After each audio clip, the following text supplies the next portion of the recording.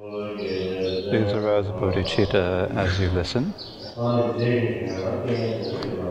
Next is the post meditation practice, taking adversity as the path of Bodhi. Uh, first is the uh, developing bravery when stricken with illness.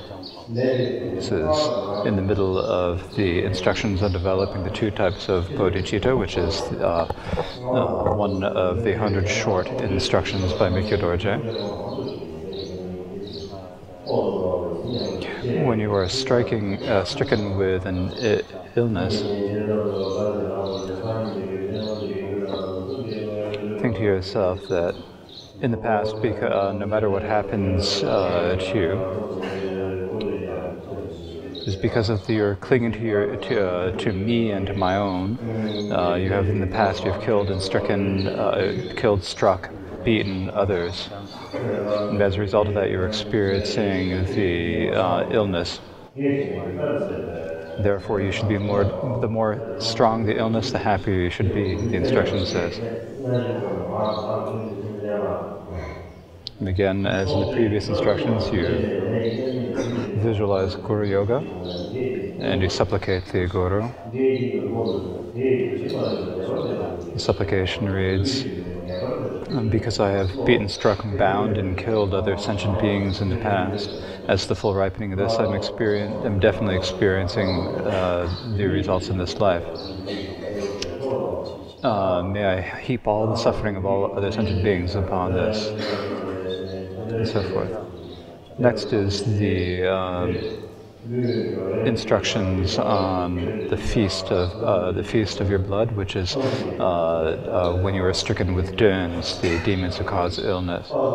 This is, is instruction where you imagine that you're offering yourself all of your uh, flesh and blood to the harmful spirits who uh, are causing you difficulties.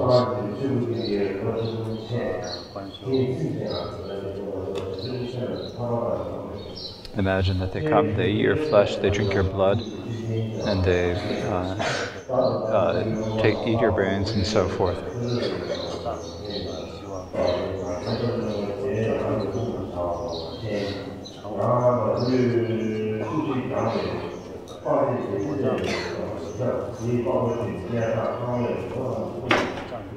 This is a visualization that is similar to the Chu practice. And again, you do a short Guru Yoga practice. You imagine the Gurus, the, uh, the, the lineage Gurus, the deities, and uh, the Yidam deities.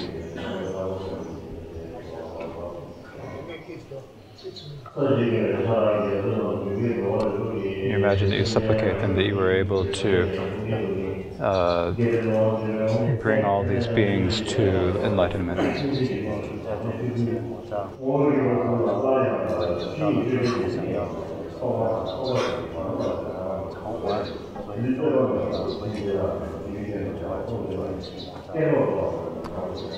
Next is taking uh, the adversity uh, to the path when it occurs.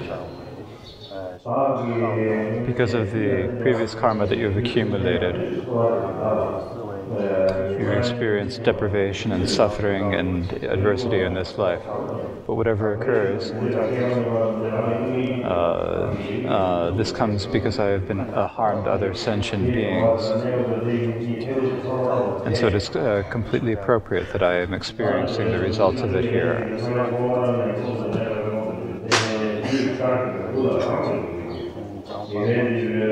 for the adversity to cure now is something that you should rejoice in now. You should be happy about it now.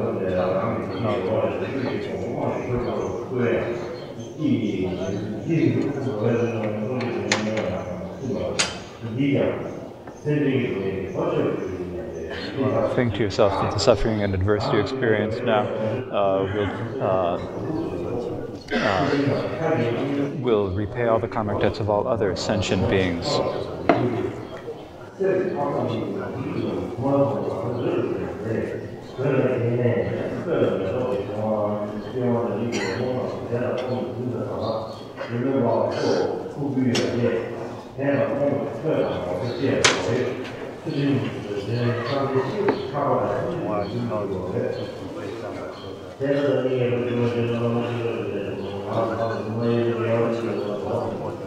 I think that from all your virtues, may this bring great benefit to all of the sentient beings. May it be like the sounds of music, robes, and ornaments. And again, you supplicate the Gurus, may all of uh, your virtue bring happiness to all of the sentient beings.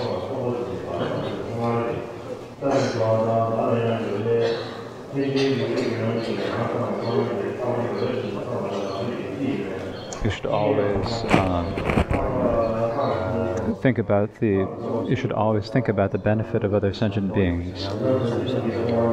Next is uh, is a meditation on protecting ultimate bodhicitta. Whatever adversity, difficulties, harm, pain, and illness occurs, this is, uh, if it were, uh, if it truly existed, uh, then it would be nothing. Uh, if it truly existed, then uh, it would be that it could truly harm you. But since that it cannot be established as uh, truly existing, uh, then then it is uh, uh, then it cannot actually harm you. 世俗的世俗的一切外在的行为都视为如梦境或者幻象，以及呃自性和悲心或者不悲心、空性无二无二无别的状态。啊，之后在实际上这三宝家 아,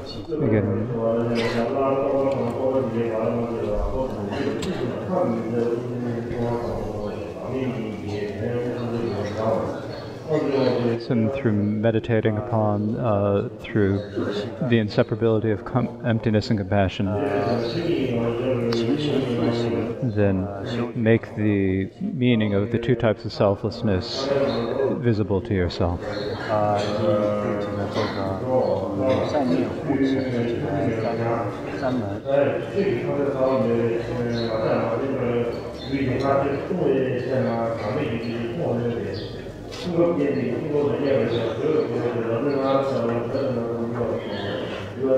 善念护持自己的三三门。Next are instructions on training in bodhicitta in all of the four activities. In whatever you do, always think of uh, using whatever you do as a manner to develop bodhicitta.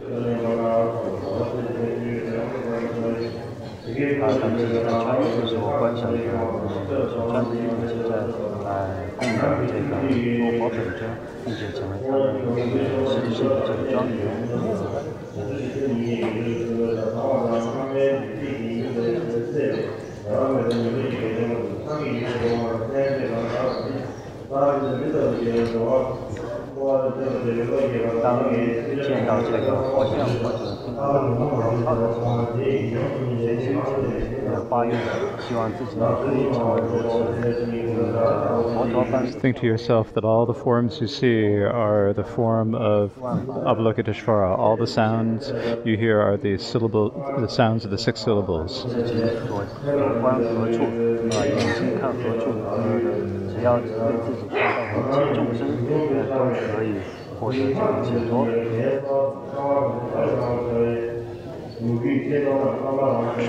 对对对。Meditate on devotion until all appearances become pure.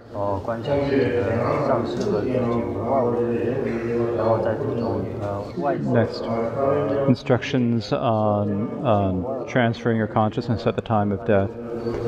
These are the four powers of the seeds aspiration, remorse, and, and habituation. After training and all the activities in this life, then you also use this power for the next line. There's the power of the seed power of aspirations. The power of the seed is the is the consciousness at the moment of the death. It's thinking that uh, you are offering and offering away and giving away all of your possessions at the moment of death. The aspiration is to make an aspiration at the moment of death to develop bodhicitta. The power of resolve is the power is the thought that from now on is the, the thought that you will give up all of your ch- uh, self-cherishing and bring and work only for the benefit of others. 让自己在临终呃那一刹那，或者是在中阴，或者是在 The power of uh, habituation 观修 is to train in great compassion. 呃大悲心， 从而成为这个修持密法的瑜伽士，能利益到自他一切众生，一切的这个佛法和卫生事业都可以得到任意的成就。 The power of your conduct, or the power of your pastern, is that you sit in the uh, sit in the cross-legged uh, vajra posture, or if you're not able to, lie in the sleeping posture posture of a lying, 障碍让自己呃 with your right side down, 还扭转在 your uh, right hand underneath your cheek, the small finger pressing your uh, closing your right nostril your left nostril should be along your side comfortably. Then imagine, think to yourself that, think, uh, think about a pure realm and think that your root Lama is in the center of this, inseparable from Amitabha. And then rest within Mahamudra.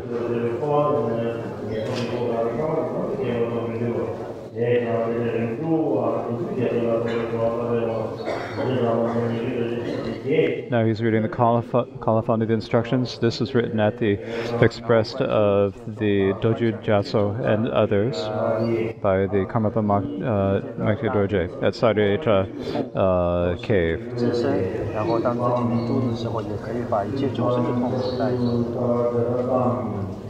自 this completes the transmission of the text.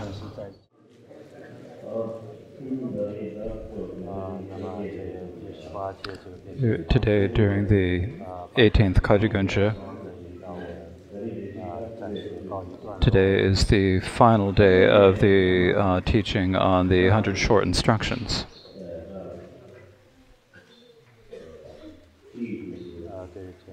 Generally, these instructions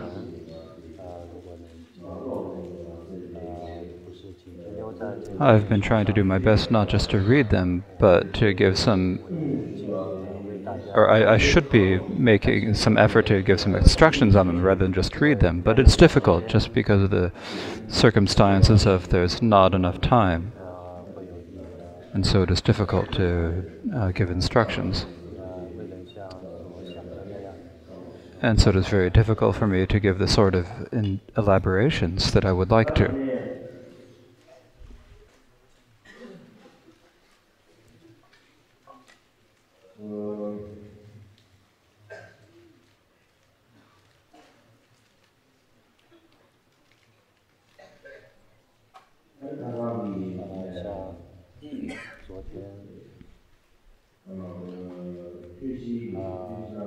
yesterday, the other day, I gave some instructions on the Four Sessions Guru Yoga practice.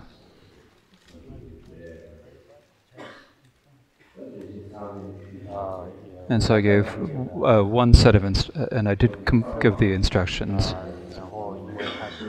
Now, this is a, this profound practice of the Four Sessions. Or this is a profound practice of the secret mantra Vajrayana. So it's probably better not to uh, spread it. So it's better not to spread this too while it. So the on the other day, we probably best to take down the instructions that are already up on on the YouTube.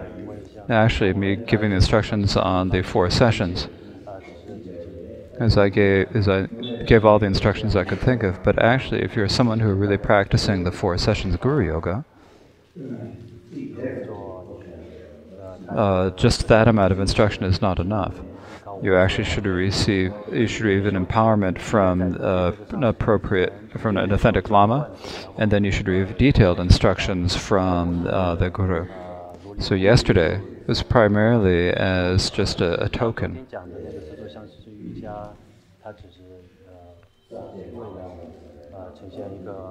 And something just to leave, leave every, give a brief overview of all the topics, and that's the instruction that I gave the other day. And in the next few days, uh, the Gunchoe program will be completed, and then following that, we will go through the various events of the Kagyu Monlam. Now, this year at the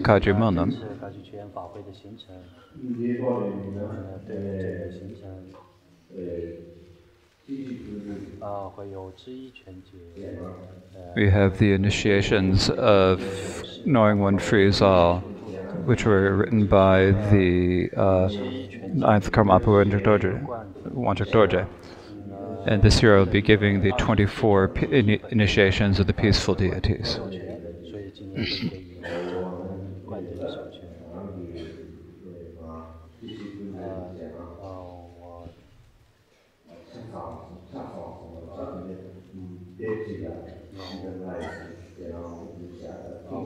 This is the first time I have given so many initiations of deities, such as the Knowing One Frees All initiations.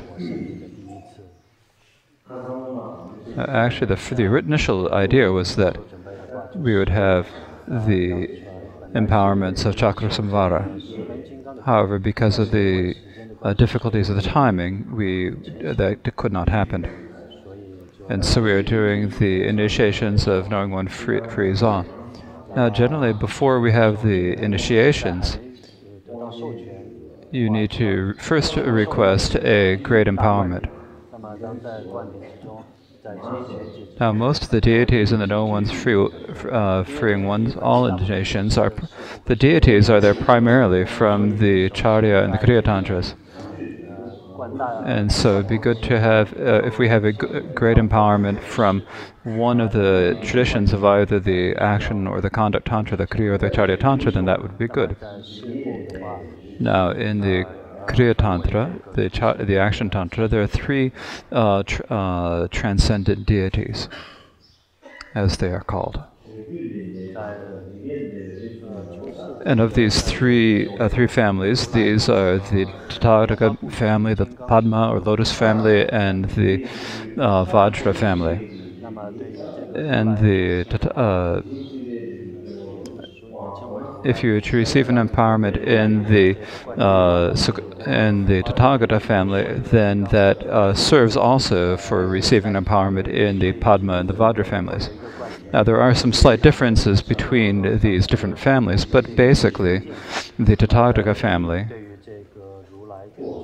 is the highest of these uh, families. And so if you receive an empowerment, then you would uh, receive an empowerment in this mandala, uh, then it serves to also receive empowerments in others.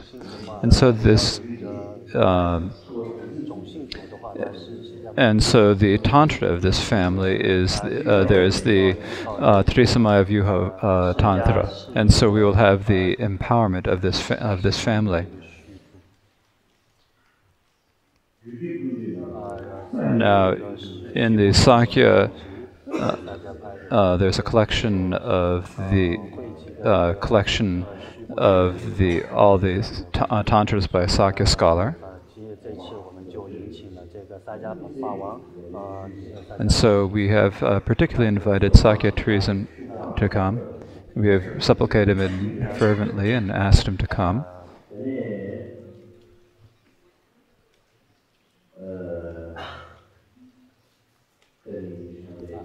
And so on the morning of the 20th, uh, His Holiness will give the Sakya will give the empowerment of the Trisamaya Vyuha Tantra. And is someone who is a great master of, of, of practice as well as a scholar.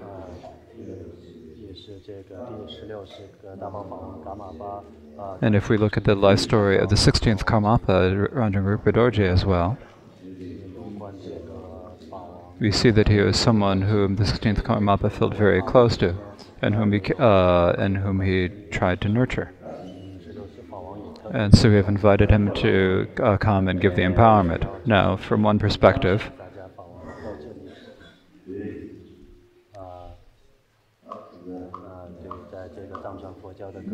in the Tibetan schools or between the different scouts, we often have we often have a bit of bias or, or sectarian feelings, and this does occur.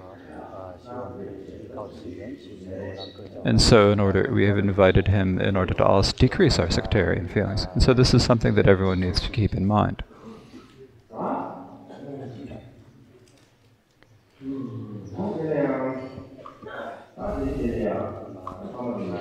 Now, today is the uh, last afternoon of our, our teachings, and so, and I don't really have any particular advice to give on this last day, or any particular opinions either.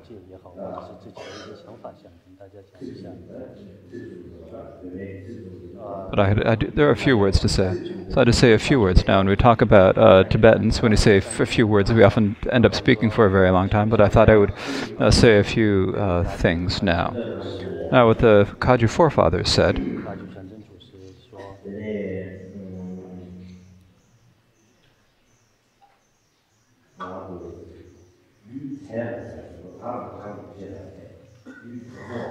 If we have, if we have a, a wild being or, or a rough being, if we have a rough or a wild being, now normally when we talk about our rough being, this is we talk about, basically when we talk about the uh, listening, contemplation, and meditation, we do this for the purpose to to uh, fix ourselves, to decrease our wild the wildness in our being.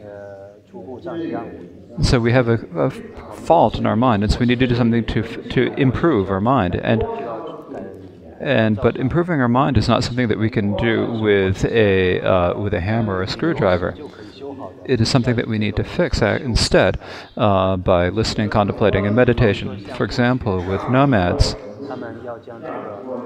when they have uh, unruly yaks, or uh, when, if they need to make uh, if they have uh, yak leather that is tough, they first they have an order for. First, they uh, if they take the yak hide and they first add, uh, soak it in water, then they uh, rub it with water, and then they then they rub it over and over with their hands. And so similarly, uh, we have to first do the uh, contemplation, listening, contemplation, meditating. First, uh, the the listening is like the water, the contemplation is like the butter, and then the meditation is like the rubbing.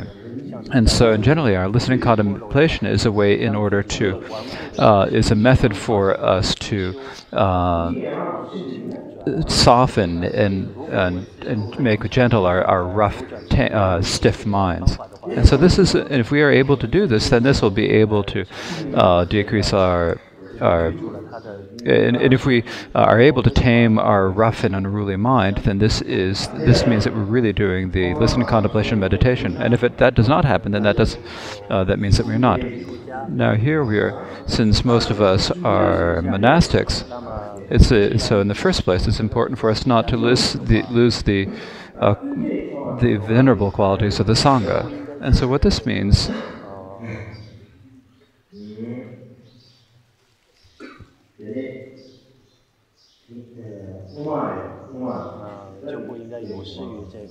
Now, this is something that the fa- forefathers of the Kagyu said.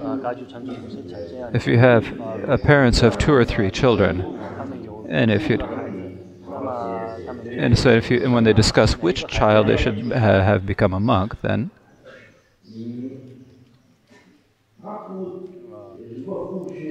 there's the one with the the, the ugliest, the one with the least intelligence, the one who they don't think can ever get anything done. I think this one was not going to be able to do it. I think live And so if we can't just, so they sent him off to uh, uh, to become the monk, and they uh, bring a, a, bunch of uh, of many different things, a large amount of things, and bring them to the monastery, or else, or some children if there are children who are always fighting, you can't do anything and they never listen to anything. So take those.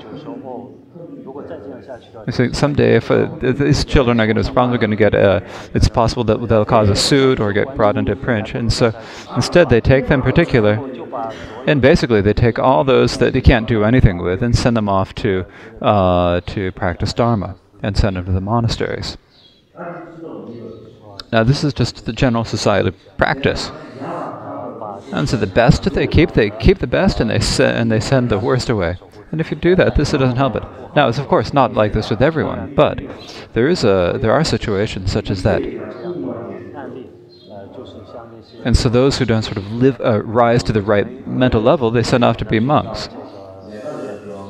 Now, monks don't really have to do work, so so that so them, it's like that they have nothing else that they can do about it, and so they send the, ch- the children off to the monasteries. However, whatever situation it is,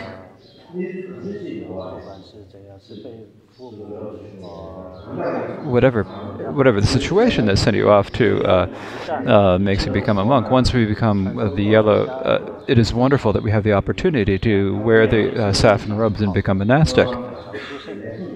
This is uh, a continuation of previous karma. It's a result of our previous aspirations. It is a great merit, and the reason it is is because it means that we will be able to have uh, make an end uh, to samara, samsara for us. Now, the, what is the reason that it'll bring an end to samsara for us? It is because merely uh, going forth and becoming monastic in the teachings of the uh, Buddha Shakyamuni means that in the time of the Buddha uh, Maitreya, you will achieve a result. No matter how, no matter how bad you are, uh, if you're at the, in the very least, will at least um, uh, be liberated in the time of the final Buddha of the hundred thousand. So it is definite that you will be liberated from sorrow. So for that reason, uh, becoming a monastic is very good. Also, because of the blessings of the uh, perfect Buddha uh, Shakyamuni, and so because of the uh, pra- uh, karma practice, and because we have met the right lamas and so forth, we've been able to do study. We've been able to have, uh, we can have good discipline. It's for, so it's um, so first when we enter the manner no matter how we enter the gate of the Dharma, in the end, we can say that it's something that is uh, beneficial for us. And if you are skilled in it, then you, there's the hope that you can become a true, uh, authentic great being. For example, uh, uh, the, the king of translators, Marpa the translator of Lhodrak,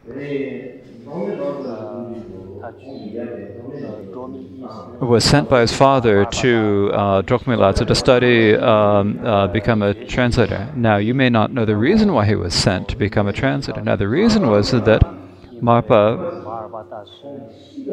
his uh, the nature, Marpa's nature was rather very, was very wild. He was very uh, rigid. And his father thought, oh, this person is, either he's going to kill someone or else someone else will kill him. And there's real danger about him. So better to send him off to um, uh, better to send him off to practice the Dharma and to do study. And so he sent him off. However, but in the end, he became the greatest of uh, scholars and practitioners. Now, so no matter what the situation when we enter the gate of the Dharma, but if we know what to do with it, then uh, then we have the opportunity to become a true, authentic, great being. And so once we become uh, a monastic, become venerable, so then what should we be like as monastics? Uh, this is we should, we should, be as the Buddha uh, Shakyamuni taught in the Vinaya. Now some people thought that. Some people think that some people think that the image of a monastic should be something just uh, do not do the image as do not have the image of a monastic on the outside. And they and they were rather very uh, robes of the wrong colors, or now this is something that's not that much in.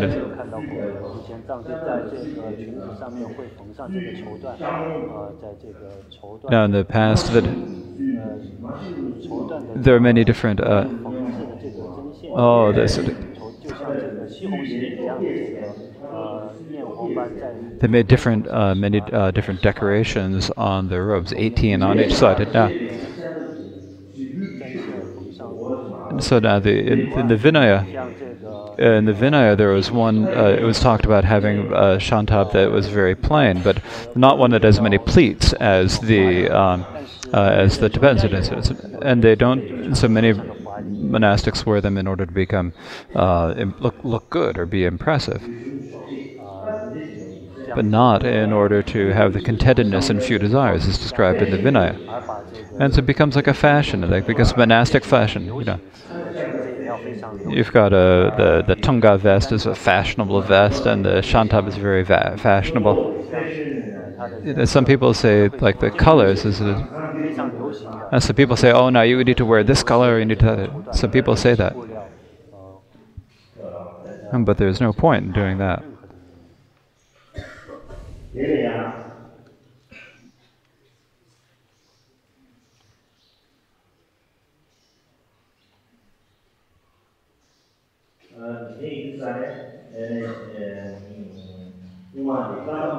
Now, in the past, in the Kadampa tradition, there's a, there's a story about the Kadampa tradition. So now there's a uh, there was a uh, when there's a, the giving and uh, giving giving and taking of offerings. Now, when the person who's giving the uh, giving the offering of food, and the person who's receiving the has an now, in between the the they would they would put a stick in between the monk who's making who's offering the Buddha and the person who's so when so because there was a stick there the the, the offerer made the offering but the bhikshu would not take it. And so why is it it's because there is a stick in between as you said. And so this is making a, a, this is making a border, and so I can't accept it, he said. And so there was that situation that happened. Now at that time, there was an old woman who had a field, and there, but there was a monk who took that field. Now the way the monk did this, and when the old lady heard that woman, she thought to herself,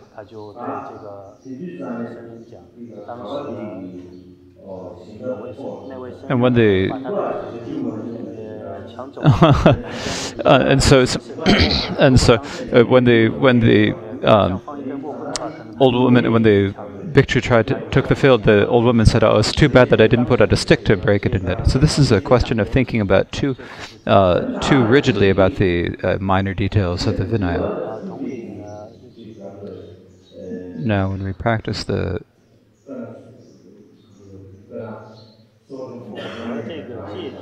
we have the different rituals, the the uh, poshada, the uh, yarne practice, and the uh, pravarana practice. Now, if you do this, this is something. If you do this properly and it inspires to faith another,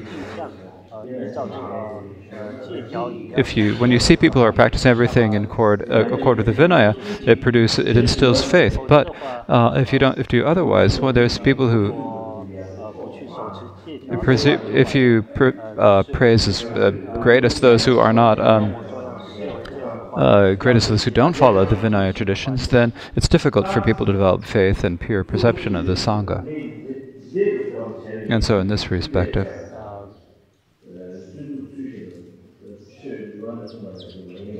and so this way,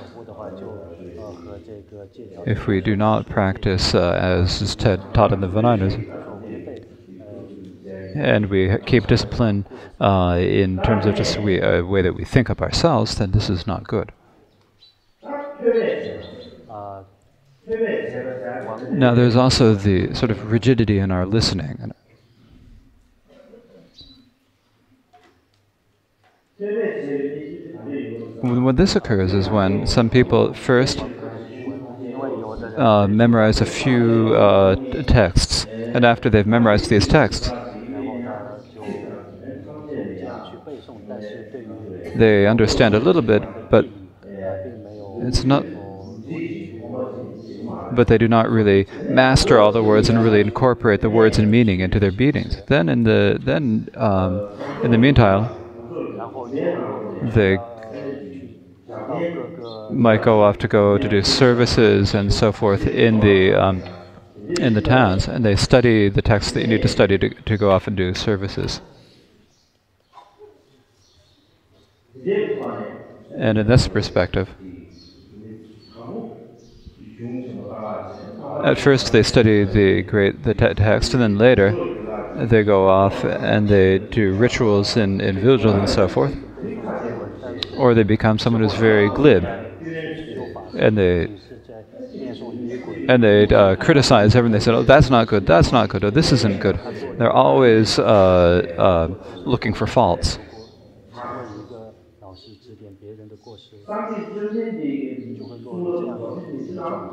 But what it says in the scriptures taught by the Buddha in the past, once there was an old uh, bhikshu who said to him, and a, to whom said uh, to, to a young monk said, "Oh, you look like a, like a like a monk," and in the end, you look like a monkey. And in the end, uh, he he uh, confessed this. He felt regret and confessed it. And because of that, he fell not did, fell not into hell, but he did.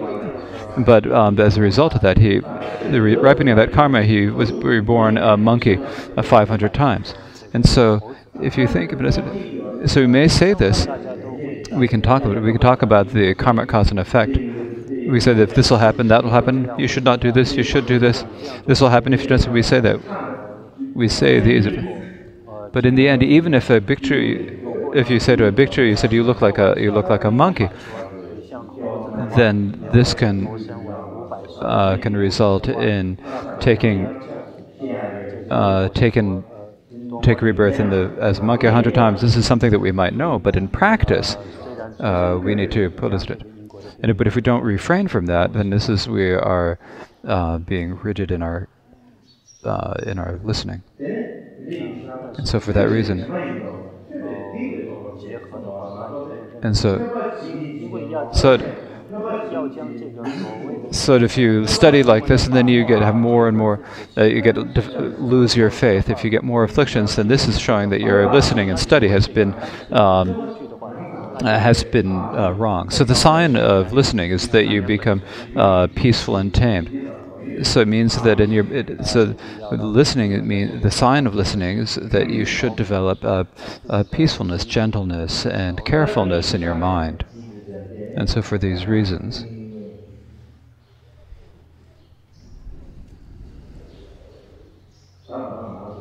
In brief, when we, all of us who uh, listen, contemplate, and meditate, uh, as we listen, as we study, we should uh, have more, uh, more pure perception of all the different things. We should have more faith and our, or faith in the scripture to go stronger. And when we understand the, uh, we should, we should have uh, more faith and more devotion in the Lama's qualities as we. And if this is happening, this means that we're really bringing listening out of the path. It means that our dharma is functioning in as dharma. If this does not occur, then our studying even if we don't practice it. Uh, if we do not practice it. If we study without practicing any Dharma, then there's a danger that we will fall into the uh, lower realms in the future. And so, for that reason, during the Gunchoe, we have all gathered here. And this is not just the Gunchoe. Now, usually, when we are studying in our own Shedras, in whatever time it is, in, at the beginning, our we need to have an unmistaken uh, uh, uh motivation and uh, uh, unmistaken resolve. This is critically important.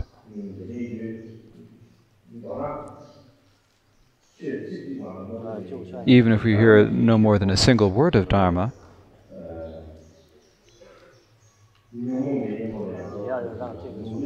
we should make it a if it is something that helps us to decrease our afflictions and increase our uh, faith, devotion, pure perception, then that means that the Dharma is functioning properly. And so this is something we all need to keep in mind. And so I don't have that uh, much to say now.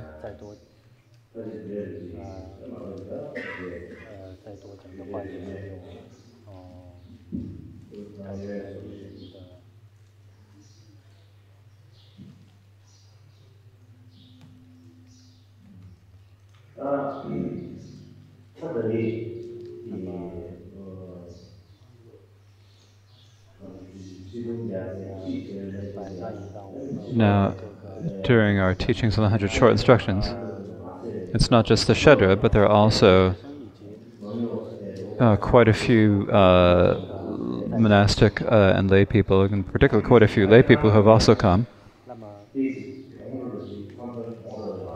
And sometimes I think you've got a little bit of a uh, sort of a loss, a little bit. Now, most of what I'm reading is mainly I'm just reading all these. Now, these instructions have not been trans, but these hundred short instructions have not been into uh, translated into English or Chinese. And while I'm just reciting them, the, then you all uh, really can't understand anything at all. And so at that problem, I would like to. Uh, I think that uh, this is a bit of a, a loss of a loss for you. However, but the main people I'm doing the instructions for are the Sangha members from the various Shedras. And so, in terms of the question of who's important, so it's uh, thinking about in terms of who it's primarily for. It's difficult for me to do this, uh, something that's appropriate for everyone. But however, but you have come every day, uh, disregarding all the difficulties that you've come in over and over again, and I'm very happy that you have. And this is something that encourages me and makes me feel like I have support. So I'd in particular like to ask, uh, say thank you to all of you.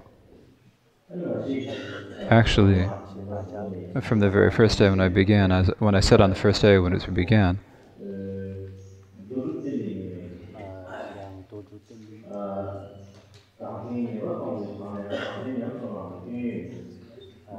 there's a when someone teaches it is when the person who's teaching uh, it's, it's difficult for them to get at. Uh, may have many faults but the the instructions that they give are have meaning but if you if they're benefited and you practice them then it's benefit there's no problem with that but it, because even if the individual individual has some uh, faults, then because it is, but the the words uh, have no have no faults, and so there's something that we can practice. And so for this reason, as I said uh, before, at the time that I was recognized as the Karmapa, it was not that I had all of the had made all the practices uh, preparations for becoming a karmapa and was uh, was you know at ready to be the karmapa. At that time, I was only seven years old.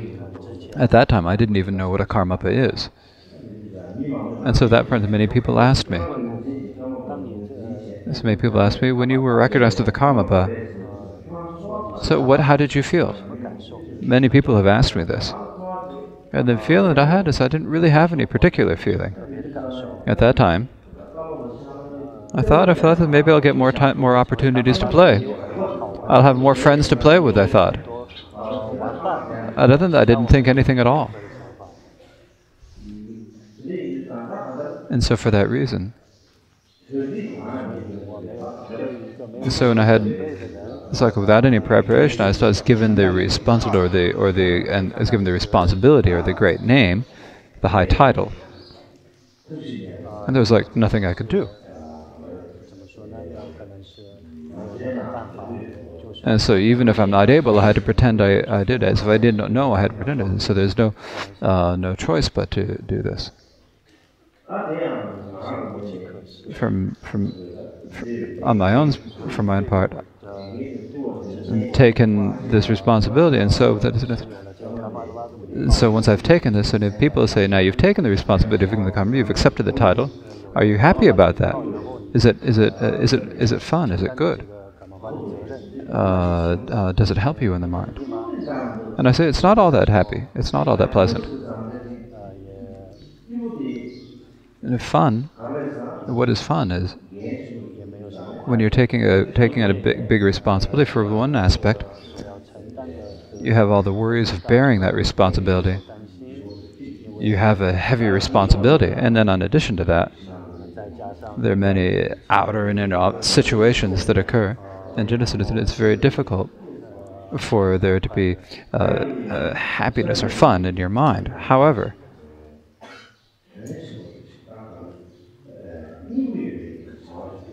but I feel that if I can, but I feel like I'm doing something where I can do something that has meaning, that has that uh, that that'll bring benefit.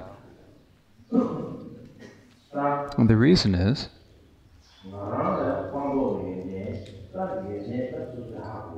And so I, I know whether or not I have any questions of uh, abandonment or realization, but whether or not you have them at the moment that I, I've, the moment I bear the title of the Karmapa, I have this opportunity to do something to benefit uh, sentient beings in Buddhism. And whether you say it's, whether you think about this is the intention of the Buddha, of all the Buddhas and Bodhisattvas, or the forefathers of Kamas, uh, the of the Kagyu forefathers, or the blessings of the Karmapas, it's something that I've got. So by the blessings of the gurus, and because of my own this happened because of my karma and aspiration. So I've got this opportunity because of that. So I just so I recognize that I just had this operation, uh, this opportunity, and so I do what I can to use it. And so for this reason, sometimes uh, fun and meaningful. When you choose between the two, if you weigh the if you weigh weigh the two, then the meaningful, the more beneficial, then I see. Then I said, then I said, even if I don't have any fun, I think it's okay.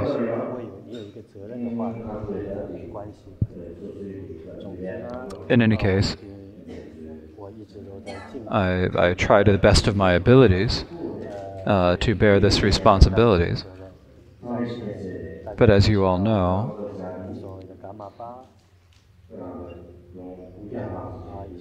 there are over 900 years of history to the name Karmapa, and all the previous Karmapas have been inconceivable beings with great qualities of, of uh, realization. So to be set on that throne and to bear that title is not something that is very easy.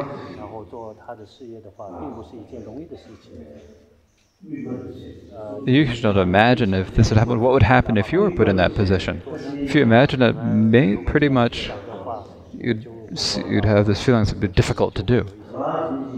To just take someone and take someone and give them a title and say you have to do that, it's very difficult for them actually to fulfill it.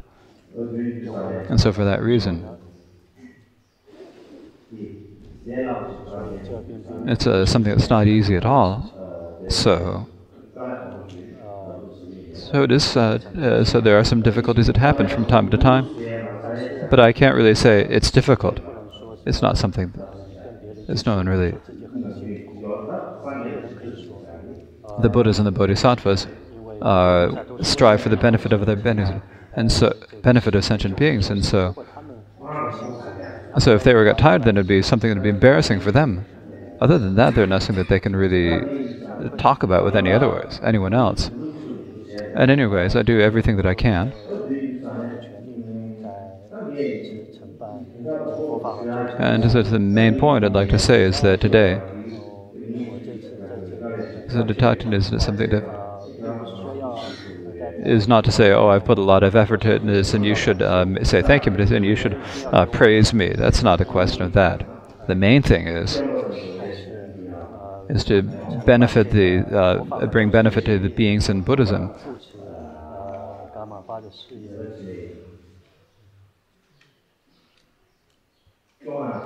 And in in in uh, maintaining the activities of the uh, karmapas, the previous karmapas, is not something that I, as one person, can do. It's something that we all have to do together. And so, in this way, all of the the kempos, the studies from the um, Kagyu centers have all gathered, have mainly, mostly all gathered here. And so for you as well, please help me. And and all cooperated together uh, need to work to uh, benefit the uh, sentient beings and the teachings, and in particular, in order to uh, in particular, fulfill all the, fulfill the wishes of the previous Karmapa Dorje. This is something that we need to do. It's not a situation where we think, oh, we have, we have freedom, we can do whatever we like, and we think there's no problems. If we think we're to think that, then it, then it would be difficult. And one day when it comes down to it, then you say, oh, I can't do it. There's no. It's not impossible that such a day will happen. So for that reason, uh, we all need to come together, uh, bear the responsibility together. I think.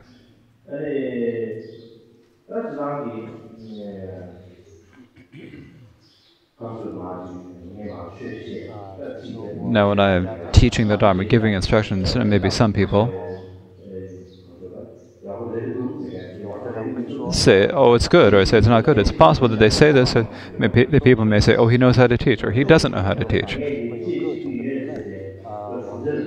It's not like I'm saying, oh, I know how to teach and, and, and declaring that I know how to and uh, then teaching. So that there's no choice. I had to practice. So there's no no uh, no problem about this. But basically,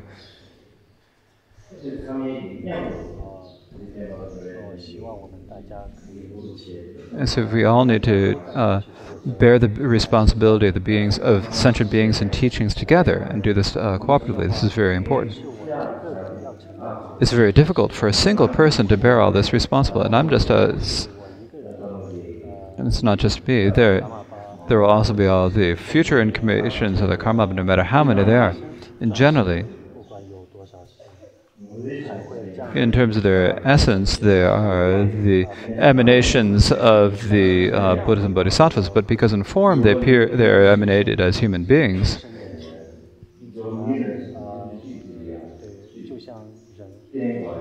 they, they are people who have to depend upon other sentient beings because they appear as human beings. And so, for that reason, I think it's important for you all to help uh, continue to serve them and help them as best you can.